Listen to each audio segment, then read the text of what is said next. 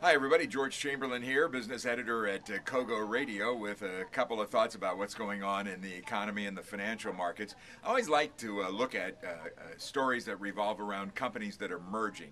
And usually, when they merge, it's for the efficiencies of scale. You know, they, uh, they are able to reduce cost and things like that, and it works out pretty well.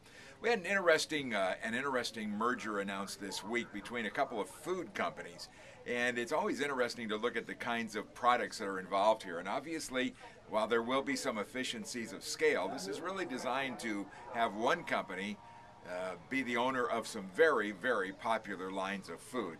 Uh, the companies that are involved in this are Hillshire brands. Now, Hillshire, you would probably know that name a little bit. Uh, their most identifiable products are Ballpark Franks. They make Jimmy Dean frozen food products out there, and a lot of the Sara Lee products that you would buy in grocery stores are available there as well. They're going to be call, uh, buying a company called Pinnacle Brands for about $6.6 billion. Now, you probably don't know the name Pinnacle Brands, but let me, and pardon the glasses here, you, you, let, me, let me share with you just a few of the products that they own. For instance, uh, Vlasic Pickles, we'll start there. Then you shift over to Duncan Hines, the cake mixes and, and a lot of frozen food products. Mrs. Butterworth's and Log Cabin Syrup are products they own. Birdseye, all of those frozen peas and carrots and vegetables and stuff like that.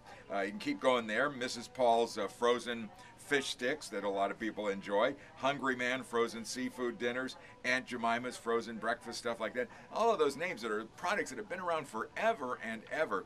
So now they're going to combine all of these and many others into one company that will be a giant food company they, of course, will benefit from being able to distribute all of these uh, products together, and it will have some efficiencies of scale, but it is going to make uh, the folks at Hill Hillshire Brands a real big player in the food industry, no doubt about that.